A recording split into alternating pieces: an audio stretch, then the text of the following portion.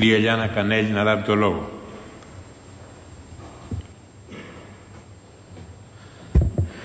Ευχαριστώ κύριε Πρόεδρε. Μιλάμε για ένα νομοσχέδιο, μιλάμε για ένα μνημόνιο.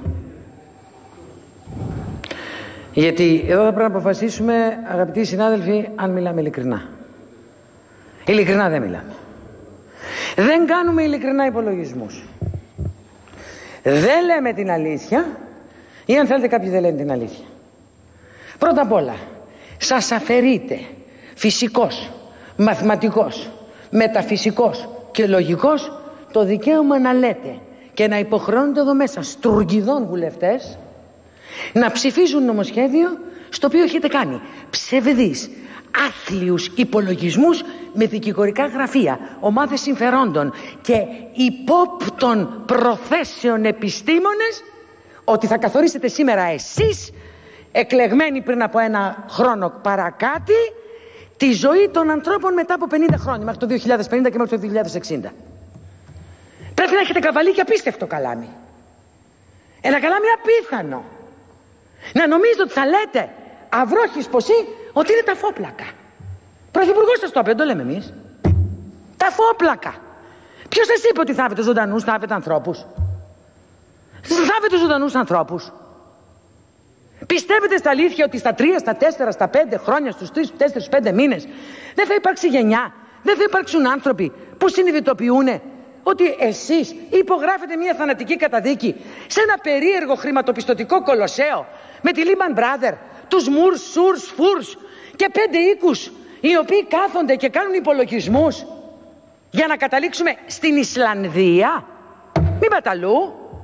Άστα τα μοντέλα που μας πουλήσατε εδώ μέσα. Το σουηδικό, το ένα το άλλο, το ιρλανδικό. Καθάρα σας ερχόταν εδώ και πουλέγε ένα μοντέλο. Και τα μοντέλα χρεοκοπήσανε. Πουλήσατε μια ευρωζώνη και σφίχτηκε τόσο πολύ που οι άνθρωποι δεν μπορούν να αναπνεύσουν. Τα χρέη, τα χρέη, τα χρέη, τα χρέη. Πώς δημιουργήθηκαν τα χρέη; Πώς γίνεται να δημιουργηθούν, δημιουργηθούν αυτά τα χρέη; Στα αλήθεια έρχεστε εδώ μέσα, εγώ αναρωτιέμαι.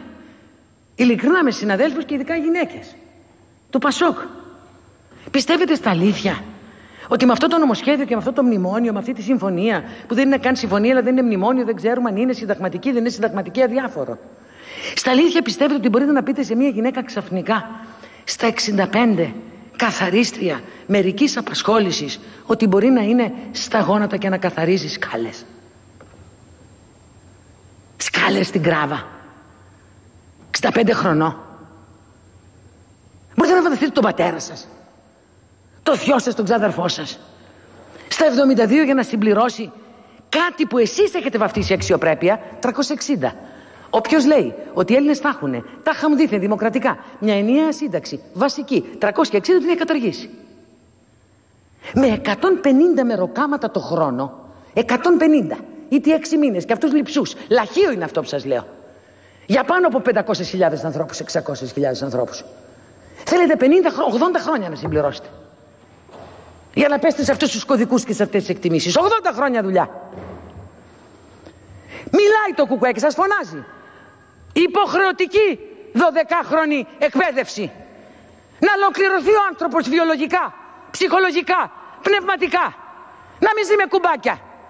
Και έρχεται και του λέτε ότι στα 15 θα πάει στον καραζάδικο ή θα πάει σερβιτοράκι με κάτι λιγότερο από 500 και 70 η κάρτα του εισιτηρίου για να πηγαίνω έρχεται στον εργοδότη. Θα μένεις στο πέραμα. Θα σερβίρεις στην Κηφισιά. Τετράωρο. Θέλει τρεις ώρες να πάει, τρεις ώρες να γυρίσει. Να πληρώσει το εισιτήριο από την τσέπη του. Και είναι και λιματικό και έβρε το πρωί στον ιδιώτη.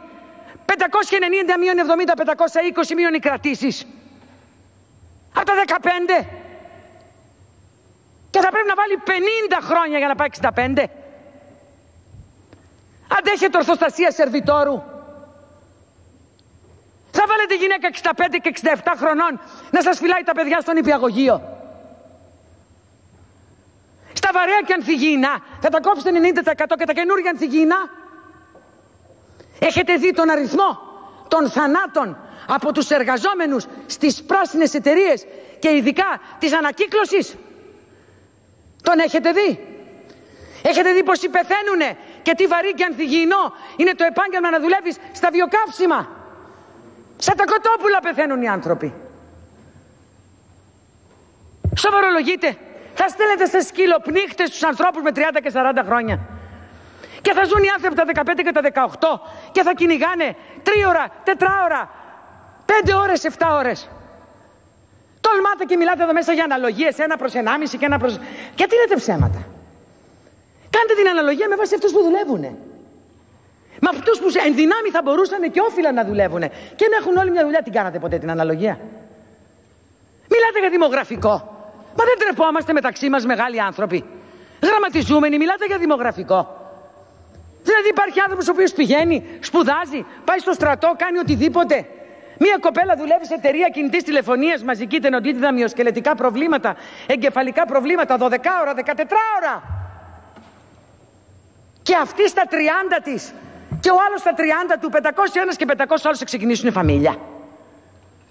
Ποιος θα την ξεκινήσει τη φαμίλια; Η φοιτητική γκαρσονιέρα των 12 τετραγωνικών κάνει 350. Και τώρα πάει και η σύνταξη της γιαγιάς. Πάει και η τσόντα από τον παππού. Πρέπει να δουλεύει μέχρι να πεθάνει. Κύριοι βουλευτές και κυρίες βουλευτίνες, εγώ ανέβηκα πάνω, είχα και την πολυτέλεια να βλέπω από την τηλεόραση μερικούς συναδέλφους, υπήρχε και ένα καφέ πληρωμένο 25 φορές κάτω από τον καφέ που είναι έξω, έχω και ένα αυτοκίνητο για να πηγαίνω έρθω, ανήκω σε ένα ευγενές ταμείο, μπορεί και να κάθομαι και μέχρι τα 65 μου να μιλάω εδώ και μέχρι τα 70. Χρόνια ακούμε για δεινοσαύρους.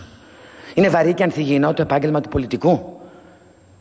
Εδώ είναι βαρύ και δεν είναι βαρύ και ανθυγιεινό να σε φτύνουν πια. Τους κόβεις τα πάντα και δεν είναι καν αυτό βαρύ και ανθυγιεινό. Και θα θείτε να το συγκρίνετε με ποιον. Με τον οικοδόμο. Με αυτόν που δουλεύει στα υπόγεια του Ευαγγελισμού με 48 και 50 και 52 και 60 βαθμούς στον κλίβανο για να καθαρίσει τα εργαλεία για την εγχείρηση και τον μπότοξ της επομένης. Σοβαρολογείτε. Θα χωρίσετε τους ανθρώπους σε προνομιούχους άνω των 55 και 60 των ευγενών ταμείων σαν την αφεντιά μου και μερικών αλωνών και θα κόψετε την κοινωνία στα δύο. Γενιά και κοινωνία και νομοσχέδιο και πολιτική που την πέφτει σε άμαχο πληθυσμό δεν στέκεται γιατί περί πολέμου πρόκειται. Ταξικού, ουσιαστικού και παγκοσμιοποιημένου πολέμου. Σε όλα τα καθεστώτα, σε δικτατορίες, σε σφαγές, όταν ο βομβαρδισμός και η σφαγή παίρνει νέους, γυναίκες και γέρους λέγεται γενοκτονία σε όλες τις κουλτούρες σε όλες τις κουλτούρες δείτε το νομοσχέδιο τι τσακίζει γυναίκες. Παιδιά, πιτσιρίκια, νέους. Αμαία και γέρους. Και ερχόμαστε εδώ και συζητάμε ότι θα σώσουμε τη χώρα βομβαρδίζοντας με αυτά τα μέτρα τον άμαχο πληθυσμό. Τα δεκαπεντάρικα. Γιατί πατριωτισμός είναι να πηγαίνεις στο αφεντικό γενιά που πουλάει τα παιδιά της και τις επόμενες γενιές για να καλύψει τις πομπές της, τα λάθη της και τις επιλογές της δεν αξίζει τον κόπο να υπάρχει. Όλες οι γενιές έμειναν στην ιστορία γιατί δώσαν ακόμα και τη ζωή τους για τα νιάτα ακόμα και όταν δεν μπορούσανε.